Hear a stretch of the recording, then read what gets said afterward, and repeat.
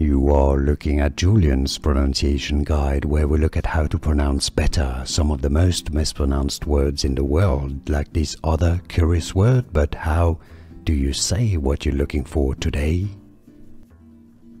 Two different ways and correct pronunciations of this word, two different ways of pronouncing it. In British English, chores, chores. In American English, chores, chores. And now you know. Here are more videos on how to pronounce more confusing words and names too many mispronounced. Like this video if you found it useful, I appreciate your support. I'll see you soon and thanks for watching.